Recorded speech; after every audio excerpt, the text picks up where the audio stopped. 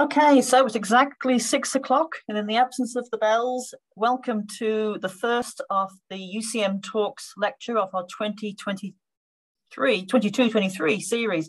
My name is Gail Curran. I'm the Higher Education Manager here at UCM, and UCM Talks is now in its fifth year, which, which is quite extraordinary how time passes. Um, the intent of these talks is to focus on research undertaken by UCM staff and students or associates of UCM, um, both on and off island. And the series is deliberately eclectic, as you'll see from the overall schedule, and designed to encourage the sharing of new knowledge, new ideas, and thinking. Um, five years ago, UCM Talks was in was conducted in the flesh, so to speak, down at the lecture theatre at the Nunnery campus. But when COVID forced us online, the feedback suggests that staying online is the best way to, to offer these talks to the wider community. And certainly on a night like tonight, when there's a easterly gale howling and the rain, I'm certainly glad I'm at home rather than finding a car park at the nunnery. So, so welcome to our to our fifth fifth series. Before I introduce our talker tonight, Professor Ken Mills, just a few rules about how we we, we, we do this. Um, first of all, the talks are being recorded. Um, and we, we do this because it, we can then archive them and keep them um, they have in the past been held on the UCM website, but with our new Research Venom website, that's where they will be deposited so that you can watch again and others can watch it down here this evening. Um, as for usual with these things, it's best if you keep your microphone on mute until we come to question time. Um, and uh, Professor Mills will be showing a full um, PowerPoint slideshow along with this, as you'll probably see on the screen already. So make sure you, you organise your gallery so that you get full view of all the, the, the, the, the, the slides. Um, generally, we keep questions to the end, but if you want to put something in the chat box, a point of clarity that might be important for you to, to check as the talk goes, please pop that in the chat box and I'll manage that um, with, with um, Professor Mills. So, to tonight's talk and tonight's talker. Um, following a BSc Honours in Biomolecular Science from the University of Portsmouth and then a PhD from the University of Southampton, Professor Ken Mills' journey towards his outstanding profile in both teaching and cancer research began apace, starting at the University of Exeter and finishing now, for the time being, who knows what the future holds, at Queen's University, Belfast, but that was via Wales and Scotland and other places. Professor Mills' cancer research has resulted in over 200 published papers and several book chapters. And he has and he does collaborate with cancer research groups in the UK, Europe, Canada, and the US. Remarkably, with that kind of schedule, um, but this says everything about the kind of human being that, that Ken is, he still finds time to work with charities and with, in recent years with UCM. And just last week, Ken was recognized as the 2022 UCM Honorary Fellow. We are very grateful and very much looking forward to Professor Ken Mills talking about silver linings, how cancer research methods and everyday drugs helped to fight COVID. Thank you, Ken. Thank you, Gail. I hope you can hear me and thank you very much for that very nice welcome. Um, I never recognize myself sometimes when people talk about me because I just carry on with the job. Uh, but please, if you want to interrupt me, please do. Uh, the group at the long line at the moment is small enough so we can almost have a discussion, but please interrupt me. So the title I've been given, um, or amended by um, uh, Gail to make it uh, more appealing, is, as she said, The Silver Linings, How Cancer Research. So um, I'm going to start off by just a bit of a background what I'll be talking about. Looking at cancer complexity, because I think that's really interesting and exciting to look at, see how what we can take from cancer and look at the virus problem and the COVID problem by using repurposed drugs. So first of all, I thought we'd have a look at where Belfast and where Queen's University is and where I actually work. So I'm in this building here, the green building. This one here is called the Patrick G. Johnston Centre. So we're just going to have a quick whiz round the centre for people who haven't actually seen a, a laboratory system or cancer research centre. Quite nice. The labs are on one side of the building and the offices on the other.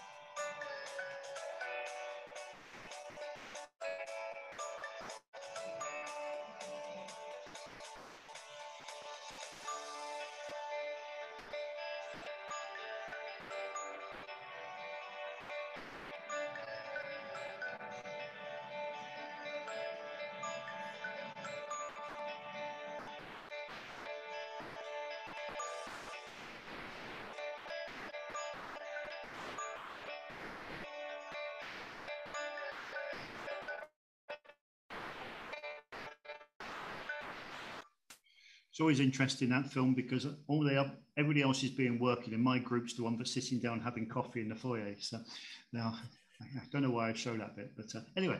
So back to the, the talk, looking at some global cancer data, just to put it into context about what we're looking for in the cancer world, and then looking at what we're doing in the, the COVID world. There's 18 million new cancer cases worldwide, uh, which is pretty impressive, really, when you think about the numbers. And you can see how it's distributed. 48% of the cases are in Asia. Uh, but that actually, when you look at death rate, you can see almost half of the half the people who get a cancer in a year. There's always 50% of people, one in two people are dying from cancer. With um, if you just compare the top and the bottom figures, you can see that there's more proportionally more people would die in Asia and in Africa than there would be in Europe with that. So proportionally, the, the ratios are different. Let's look at the cancer incidence in the UK. And we all know that one of the breast cancer and prostate cancer are the two most common male and female cancers uh, that occur. And they've got quite a few across this as UK numbers. Lung cancer, still pretty high and continuing to be pretty high numbers of cases. And bowel cancer, gastrointestinal cancers come in number four. But what's not appreciated often is that blood cancer uh, is comes in the fifth. It's the fifth most common uh, type of cancer, and it's called the forgotten fifth. And that's probably because people will recognize that as either being um, uh, leukemia, lymphoma, or myeloma, but not necessarily as a combination group of blood cancers. When we now look at the death rates for these patients, and as I said, globally it's about 50%, but you can see lung cancer is 77%. And if we order these, you can see that 77% of people with lung cancer will die within five years. But again, what's not known is that 41% of people with blood cancer will die within five years. So that's quite a high proportion when you consider that 21% of breast cancer, 24% of prostate cancers. But actual fact, in absolute numbers, you get more people dying of blood cancer than you would do dying of breast cancer, even though it occurs twice as commonly. So it's quite a, a major disease, which is often ignored. So I often put this one up and say there's 137 different types of blood cancer, which why people don't always recognize that they might have a blood cancer or they may know leukemia, lymphoma, and myeloma as being not three. And one of the interesting things is that none of these types of blood cancers actually have the name cancer in their name. So you've got chronic eosinophilic leukemia, you've got plasma cell myeloma, you've got all sorts of them, uh, primary myelofibrosis, but they're all types of cancers. So if you look at the incidence, it's like any other cancer. Uh, uh, it's basically an age-related disease. The incidence increases with age um, in all the cases, and you can see that in leukemia and lymphoma myeloma, it gradually goes up. It's quite common under 40, except for leukemia in the pediatric and children cases. But then you have that increase in sort of almost that exponential increase uh, cases. 1% of cases are in patients under 15. So that's a, although you might hear of a lot of cases of pediatric or children with cancer, and particularly children with leukemia, very few cases are actually down there uh, in that actually age group. 75% of all blood cancers occur in people over 60.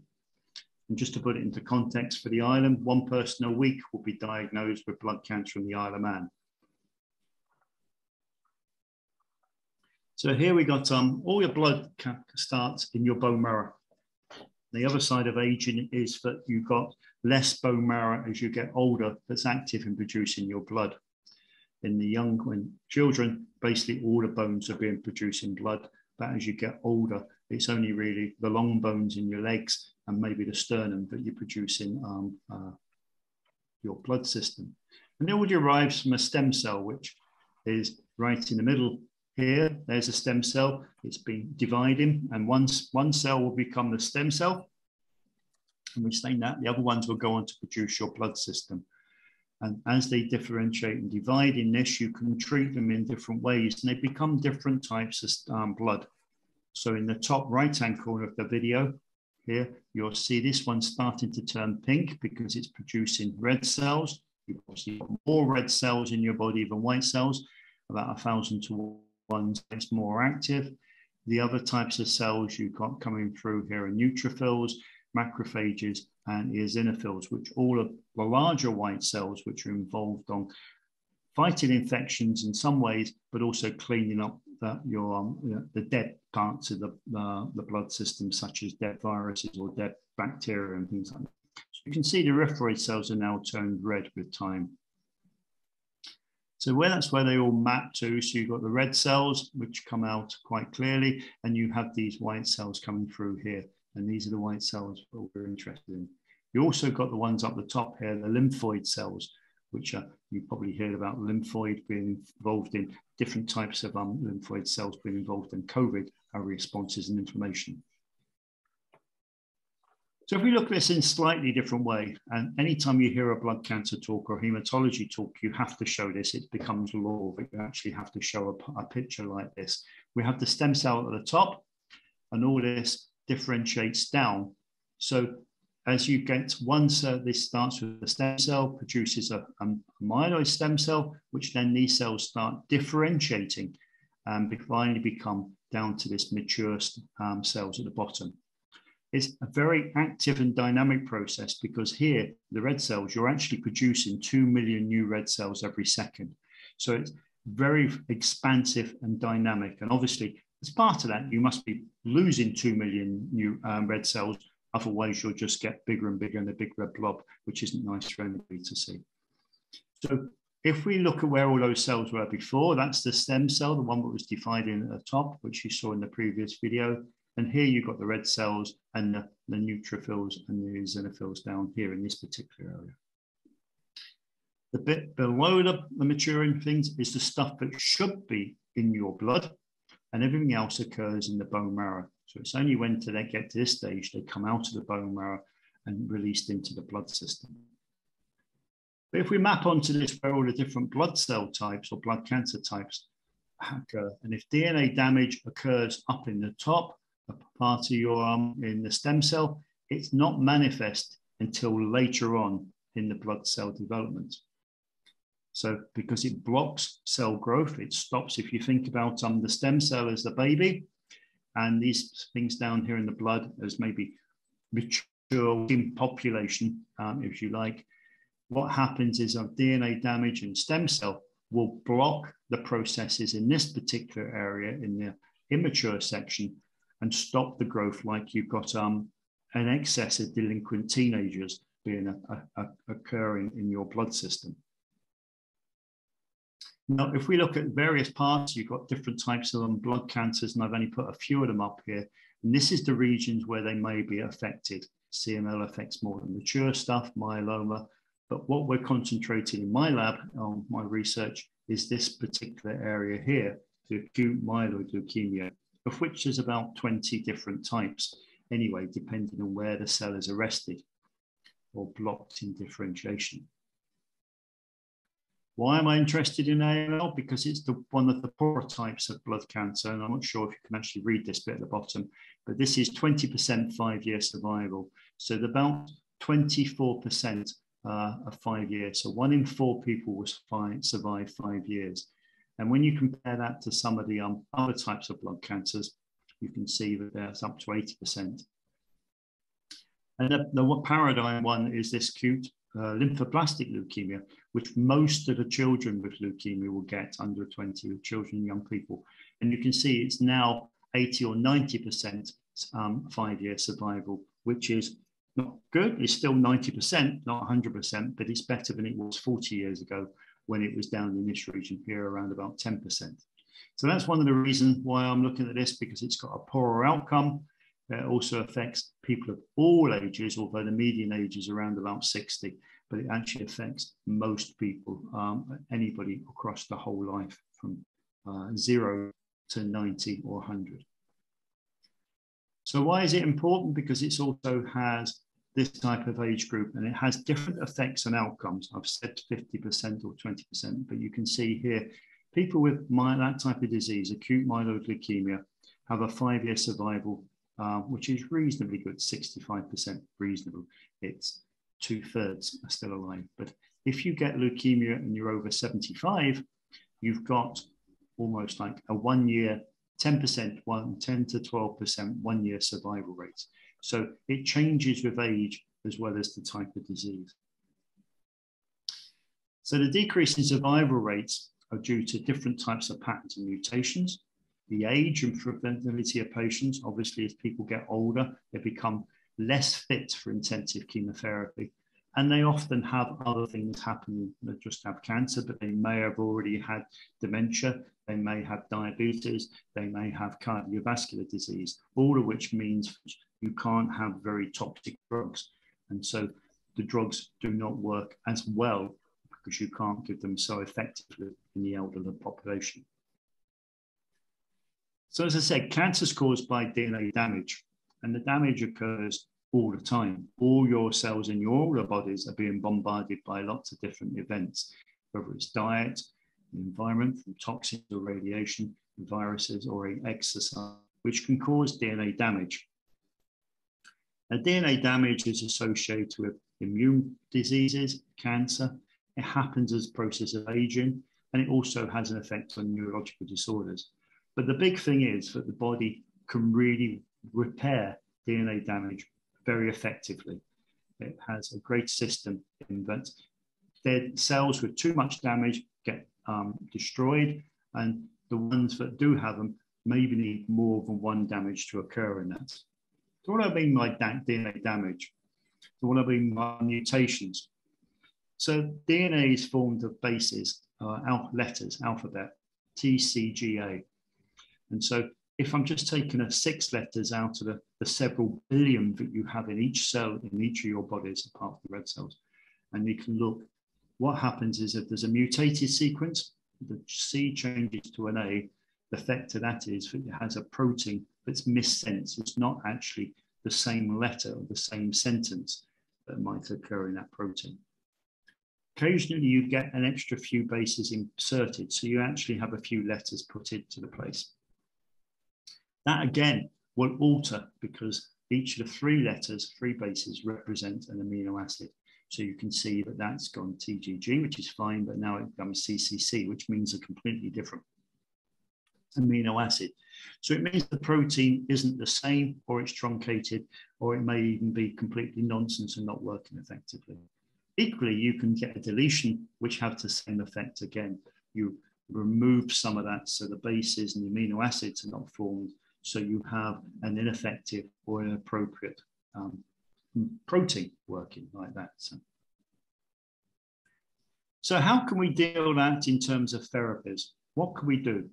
Well, let's think of a patient that has a mutation, as we said, maybe it's an insertion, and you develop a drug against that particular mutation or that particular gene, and you can block malignant growth. That's a great idea, and it has worked in one or two diseases, and it works in other types of um, diseases as well.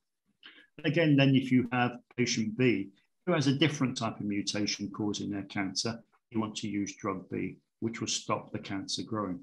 Sounds good so far. And of course, these drugs, because they're targeted against mutations, are going to be less toxic than chemotherapy. But let's look at the uh, um, in AML. As I said, we're focusing on my type of disease, acute myeloid leukemia. And look over the past 40 odd years.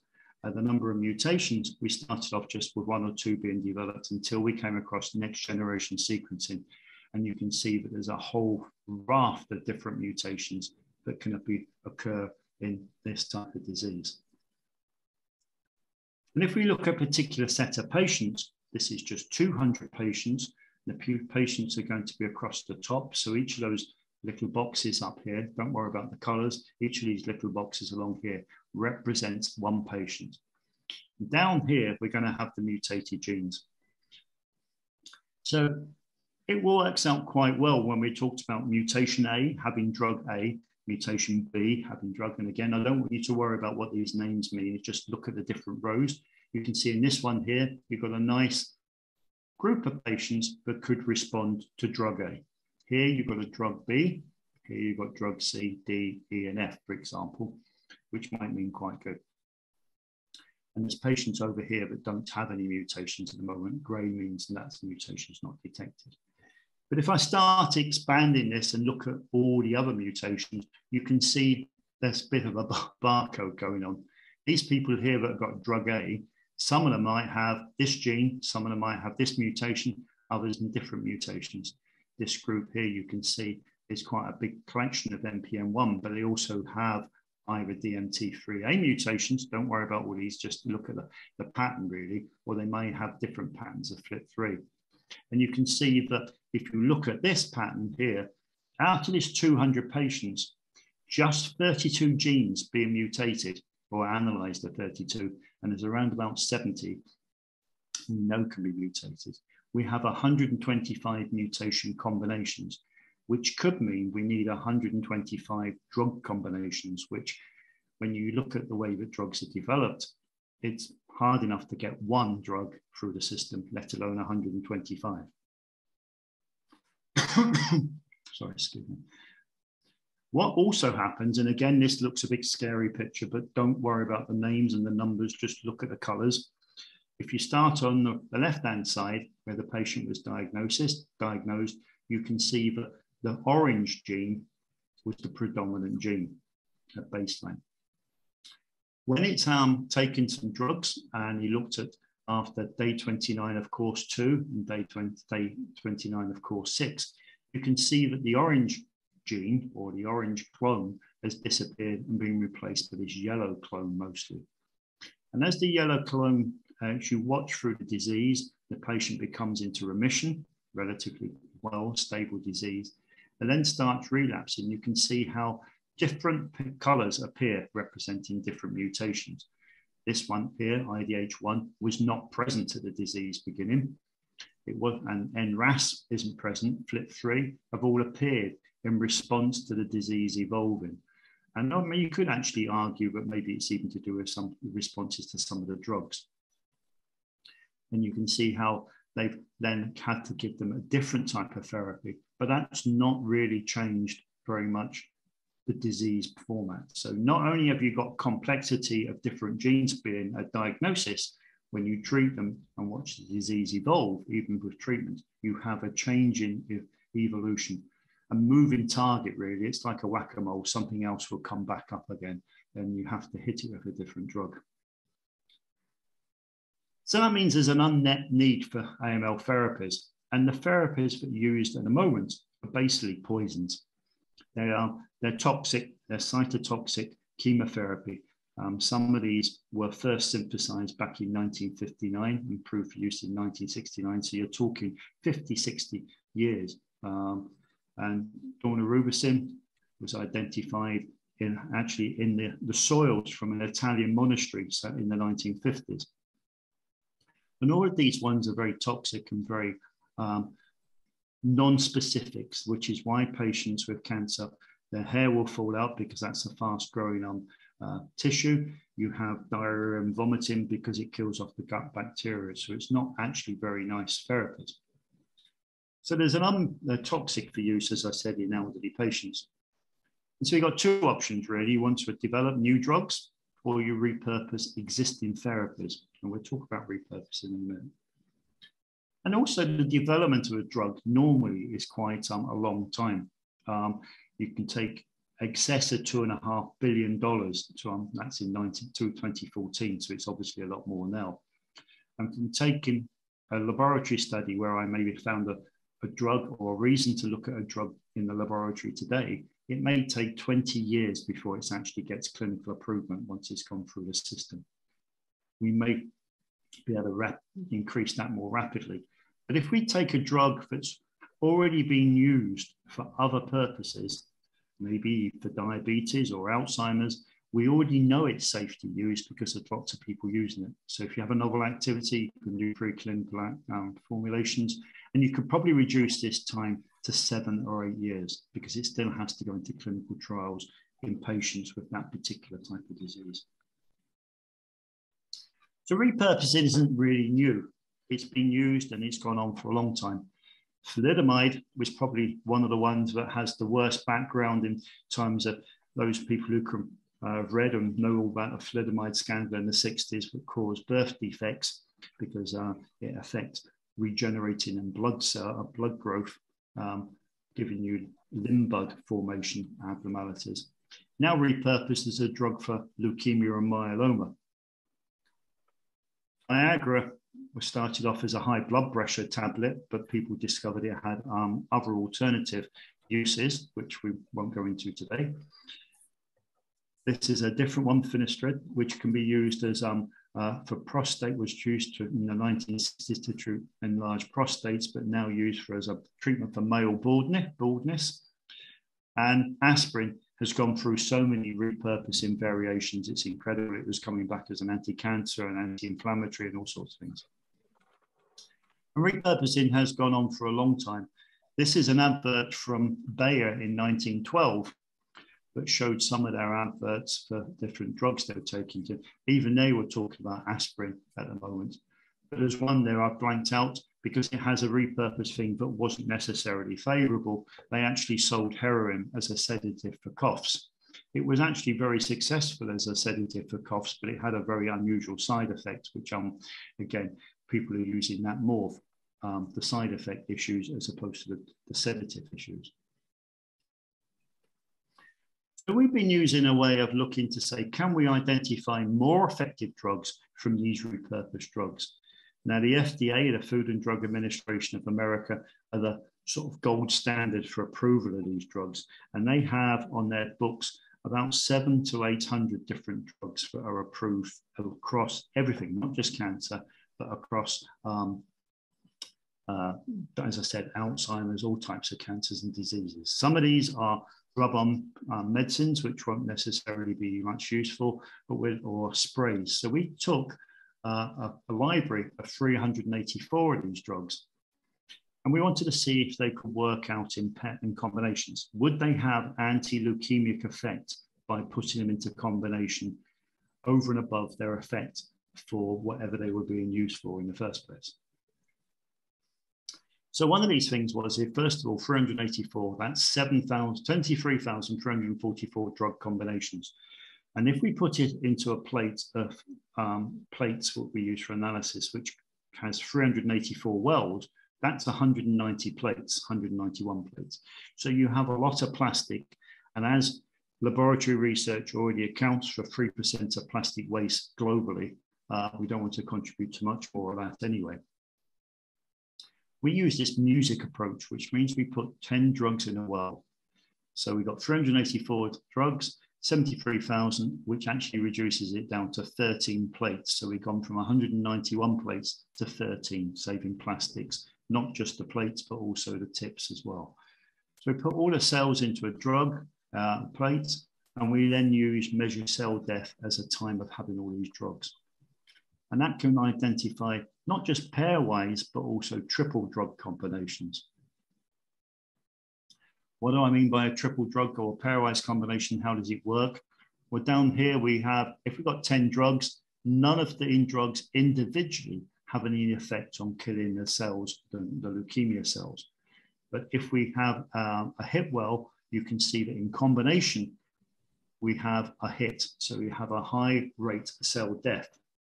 What you don't know then is which combination is. Is it one and two, one and three, five and seven? we have to do convolutions, but we know that they're working together is more effective than being single partners, which can happen in life as well if you all work together. And so we use this for lots of different aspects. We're using it for AML, uh, both adult and MyBlock, which we'll talk about in a minute, using it in pediatric children for because they need specific, less intensive therapies, but also looking at um, people who have um, progression and issues by the, the leukemia spreading into the central nervous system. And as part of that, we're also looking at brain tumors using the music brain approach by looking at pediatric um, medulloblastoma diseases. So I want to talk about MyBlock. MyBlock is an amyloid blood cancer initiative that we're using this drug screening genomic approach. To improve that patient diagnosis, improve our, um, advance our research understanding, and potentially improve the way we use therapies. And obviously, we want to always improve patient outcomes. So, trying to adopt a personalized medicine approach for myeloid malignancies and other blood cancers to improve patient outcomes. So, what do we do? We have a patient sample, whether it's a diagnosis or relapse. the standard clinical tests that are done, like the blood counting, looking at the cells down the microscope, and cytogenetics, which means looking at the chromosomes to see if there's any damage.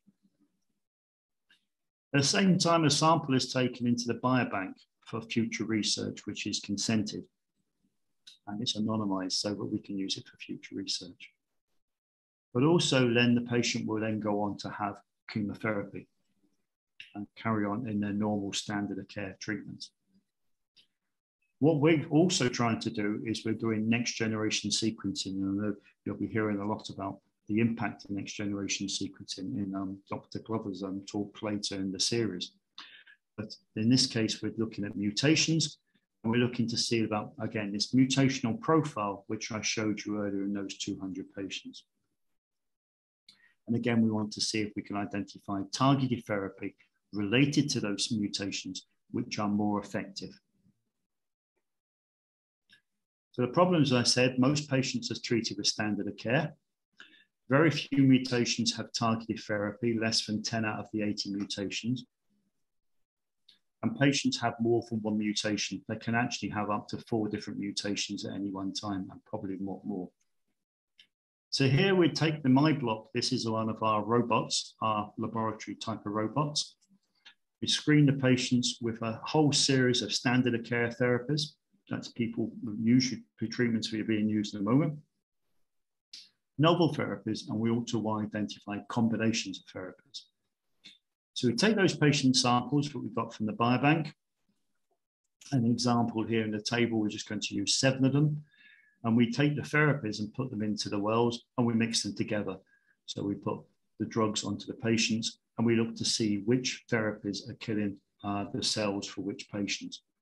So here you can just see from this um, sort of like spreadsheet type thing that in patient one, down the bottom here, drug A would be the ideal. In patient two, they're actually going to need a triple combination and so on as you go through. And you can see that actually none of the combinations in this example are going to are the same. Obviously, if you've done more patients and more drugs, you might find that they'll get more common similarity. And we'll come to that again. So here's some of the results from patients we got, and this is the combinations. And I've only done the top half. You can see that if they've occurred, uh, one, for example, has often some patients will have a DMT3A or they can have an EZH2. So you have one drug that could have multiple, uh, one gene that might have different partners. So we're trying to dissect out exactly what those combinations and what the common combinations are. Again, this looks complicated, but what it is showing is that we have these range of drugs at the top, and all these ones are already drugs for different types of diseases. And you can see that out of these two here, either idarubicin and prakinostat, most of the genes associated in the patient actually respond to at least one of these drugs or these two drugs, plus a third partner drug. And we can dissect this out and bring this and we're expanding this out and we're having these, this is different drugs, different breaking down. There's the drugs. But what we're coming down to is we're almost developing a decision tree. We're going to do the next generation sequence analysis. And if they have DMT3A as a mutation, we're going to treat with bactidomycin and a second and third drug depends on the co-occurrence with the DMT3A. If it has a P53 mutation, the outcome for the patient is bad anyway. Um, so if you have P53, you're going to hit them, we think, with this particular vinblastine, which is a chemotherapy, um, sort of a silic, an aspirin type derivative type of um, um, drug, and a zorinifab, which is an uh, immune response drug. But for the rest of the patients, we're going to have this backbone of these two drugs. And then we have a mutation dependent. So you might have either idarubicin prakinostat plus drug B, or depending on what the mutation is in the second patient, drug C, drug D, or drug E. So we're already building up this pattern down here of how we can use this complex mutation analysis and complex evolutionary process to have an approach for developing drugs. Okay, so I've talked a lot about cancer, but the title of the drug was How We Can Look at Cancer and COVID. So I'm going to then look at our um, look our way we looked at repurposing the same type of FDA drugs this time for COVID research. But I'm sure I don't need to remind anybody about the timeline happened two years ago or three years ago, as it now started around about mid-November in a few weeks' time. We had the first case uh, reported. The first case had symptom onset, and then we had lots of patients in Wuhan in China outbreak reported to Wu in December, and then uh, around about the 7th January, the COVID was sequenced very rapidly, very quick. And then 11th of March, the WHO declared a pandemic. And in between that, I think about the middle of February, I gave the last UCM talk before COVID switched down. So it wasn't completely my fault. But so today, there's 623 million cases since the beginning of the pandemic. And that's six and a half million deaths over the course of the pandemic. Around about 1%. Uh, most of them were probably in 2020 when the, the big cases um, were, were before we started having vaccination.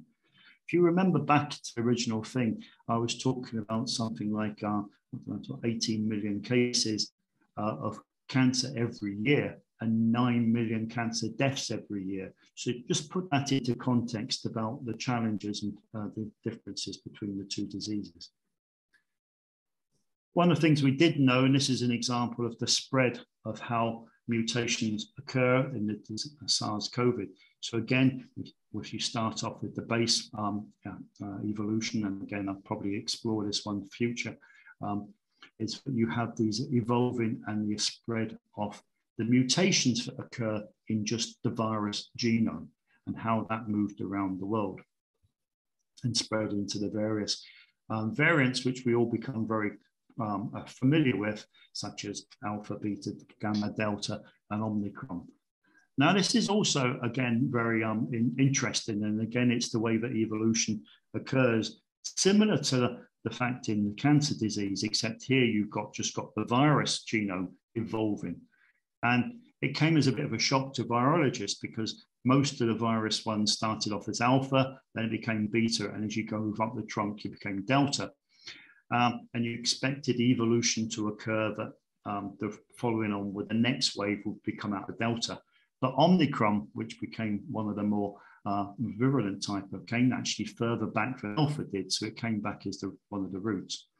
So the virus, um, the vaccines have worked very well against all of them, uh, but probably you want to try and target it and the trunk before it becomes into the variants anyway. So you try and hit the virus into the variants. And we all began to realize that there was two parts of the, the, the, the, the SARS-CoV-2 or COVID-19. You got COVID um, infections and it affected most of the tissues, all the tissues expressed the particular SARS-CoV-2. But the main thing was it had an inflammation aspect. People didn't die necessarily of the infection, they died of the inflammation consequences. So we wanted to ask very rapidly, could we adopt our music approach from the cancer uh, field to identify relative um, COVID therapies? And so our timeline was for that grant was on the 1st of February 2020, there was a rapid call came out from the um, uh, innovations and the, uh, the cancer research, the, the, the research counters in the UK. And this was really grant. And if you use the grant processes, they can take up to six months or a year. First of February, the call came out with a closing date only two weeks later for our applications. And within three to four weeks after that, six grants were announced as part of the, the announcement, with two and a half million pounds to Oxford to develop the vaccine. And we got about 10% of that to Belfast for a repurposed drug screen. And it went off as the um, NIHR website as the very first rapid progress for research grants for COVID therapies. There was actually about 90 different applications, so we were very pleased and to be awarded one of the very first six. So again, the rationale was that uh, SARS-CoV-2, as the virus is called, infection of airways, inflammatory response. Inflammatory response is extensive, damaging lungs and other organs, and we wanted a therapeutic solution. It was a combination of both antiviral and anti-inflammatory. could we hit both things at once with a combination of therapies? Remember, this is prior to um, vaccines or anything like that. And so we wanted to identify something that would reduce potentially impact in hospitals, but also potentially could be prophylactic that you might be able to take uh, on a regular basis.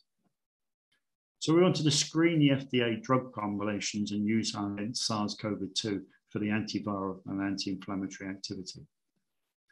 So to do that, we're actually one of the first people to manage to get the SARS-CoV-2 from the Public Health England and got sent across to the Belfast on the 20th of May, uh, which came from the, the initial York student um, uh, initial case in the UK. So this is um, one of the our group in action. And this is a number of things. This has to be kept in category three um, um, isolation. So this is the number of pieces of equipment, I think, on coverage. I think there's about 15 or 18 different pieces of item of equipment somebody has to put on before they can go into that second chamber to work on SARS-CoV-2, which is obviously kept in negative pressure to, um, to, to keep it uh, from releasing into the atmosphere.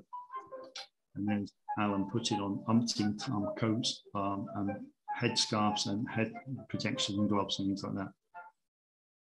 So we showed what we could grow um, the virus and how it infected. This is um, the Vero cells. This is a human cell line which you can grow and infect the, the COVID into, and it will grow up, and you can see that it causes these plaques, um, which are called um, bacterial or viral plaques, sorry, viral plaques. But one of the interesting things is this um, list down the side here, from HEC2 down to HUS7, are all being infected with the same amount of COVID, but it didn't grow in all of them, which is really interesting that these are all human cell lines. So not COVID won't necessarily grow in all the human tissues. It may be that in cell lines it won't grow as well, but in humans that may be one of the reasons why somebody hasn't had COVID or has less severe symptoms. So here's our drug strategy, for, and you can see it's a sort of adaptation of the one that I presented for the music already. Here we actually have 2,570 drugs, which um, remember I was only talking about 384 for the, um, for the, for the cancer stuff. 25% of them were from FDA approved drugs. Some were antiviral drugs, about 15% of the label. And other were drugs that have been found because there was a huge push on research to identify um, drugs from in silico, looking at the way that the virus structure was and comparing that with drug activity. So we had a lot of drugs. We used them at this particular concentration um, because that's a clinically achievable concentration. We put cells into wells. We then infected the cells with the virus and let them infect or do their job and measure the effect of reducing infection and replication on the drug. So we weren't necessarily looking at cell death like you would do in cancer cells. You're looking at the reduction in cell uh, viral growth. So here we had to optimize it. We had to look at the different types of cell lines. We had different positive controls, one of which was interferon, which we know stimulates the um, immune responses remdesivir, which you might have heard about during the SINS, which is uh, an, an uh, anti, antiviral uh, effect um, drug, which we know has been used as and been approved for some use in um, aspects of that. We wanted to test against different COVID strains as they appeared. We wanted to look at how much virus was infected, what the volume was, and which type of assay which we were looking at, which I'm not going to go into details of that.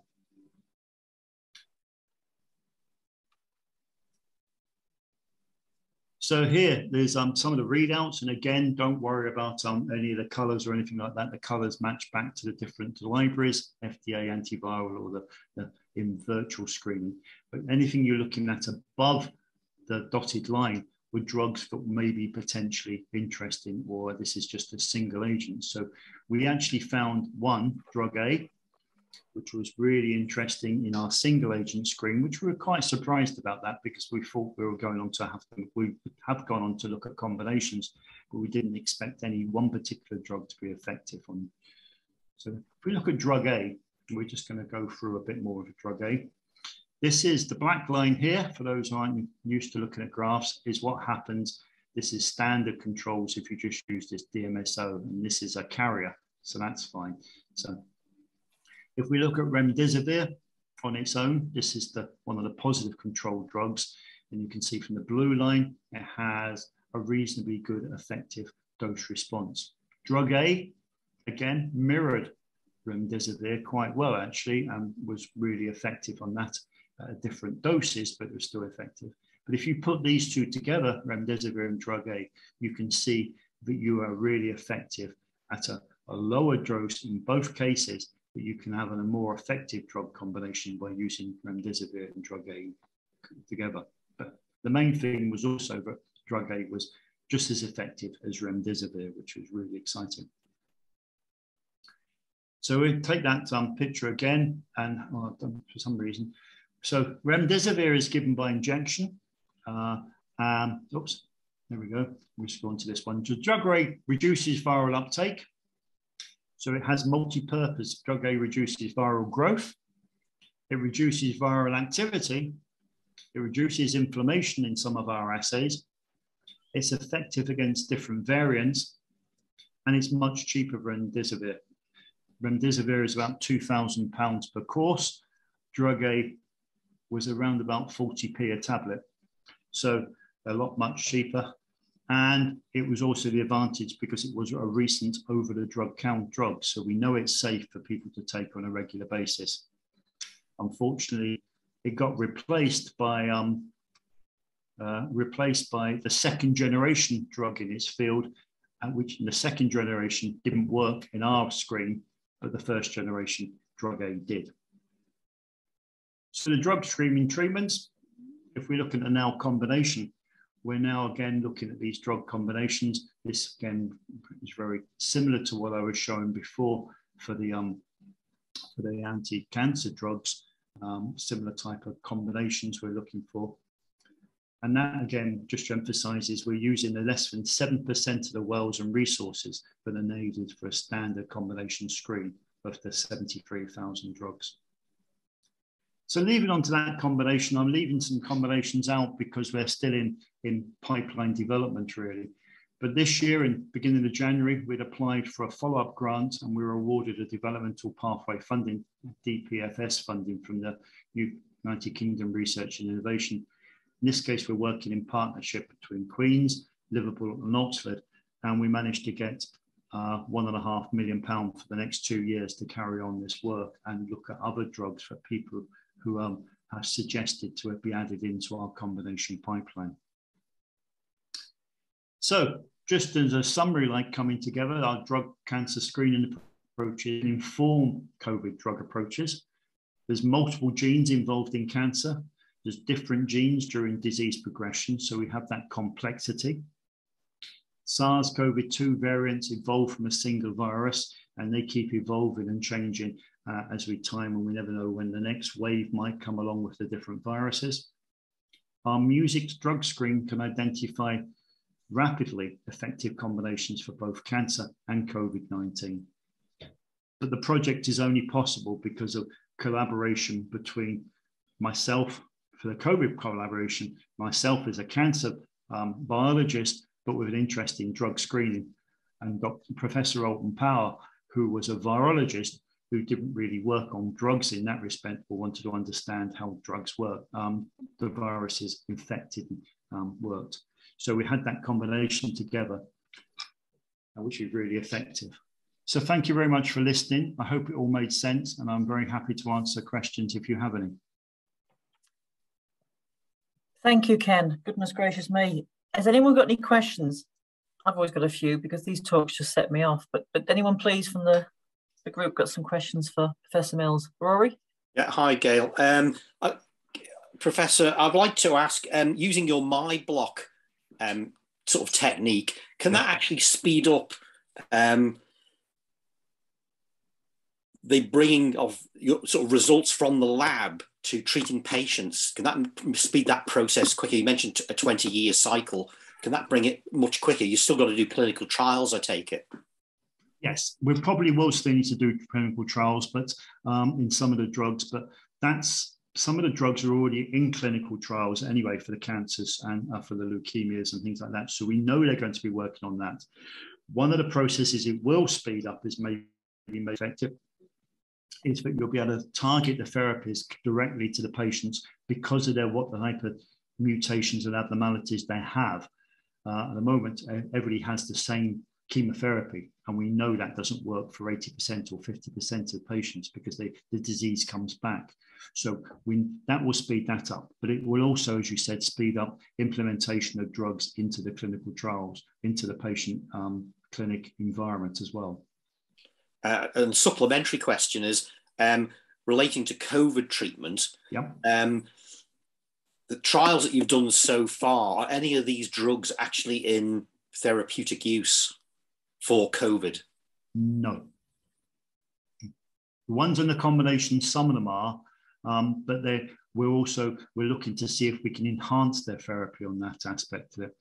Obviously, the vaccine is the first line defense, really, because everybody's going to have the vaccination for that.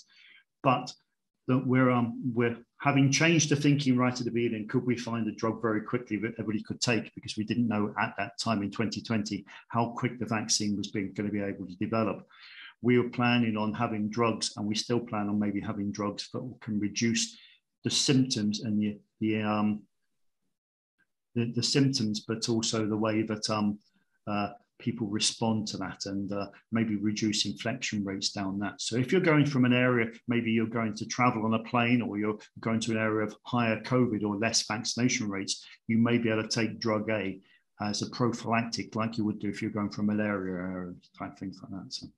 Okay, thank you. Thank you. Thanks, uh, Rory. That was one of my questions. Was that the infamous drug A actually in use, but but not yet? Is the uh, is, is the answer, yeah? Yes, that's actually because it was um, not used for as an antiviral, it wasn't actually an antiviral in the first place. It has to go through some sort of more preclinical clinical work from rushing down to Boots yeah. to buy drug A, which you know, we might have been able to do. But um, yes, yeah. You can't. Anyone else got some I've questions? stockpiled it all, so you can't have it anyway. So. all right. Any more questions from the, the floor, so to speak? I'm sorry, um, I'm not sure what your name is, Neb Dev. I'm sure if it's part of yes. it went over your head. I tried to keep it um as simple, but obviously it's not always as easy as that. well, no, and I think that's one of the joys of the UCM talks because I, I think it's about just understanding. There's so many amazing stories to tell from research from so many different areas of our, our life and that affects us. And, and I think I certainly gain a lot from hanging in there when it goes over my head because it, it comes back. And, and one of my questions is is this whole repurposing of drugs as a, as a non-specialist sounds eminently sensible. So is it, is it a growth sector, for want of a better word, in terms of drug development? Yeah, it's one of the growth sectors. It's one of the angles of developing. There are obviously to have drugs in things where you want to identify new drugs as well, because we're finding new mutations and new ways of doing things. But there's a whole repertoire of drugs that we know are safe to have. And they're probably actually having um, already anti-cancer effect, but we don't know it because if people are taking, you know, uh, a diabetes drug, and I know that some diabetes drugs also have an effect on anti-cancer subjects, so you might be arguing that you're actually doing that experiment already.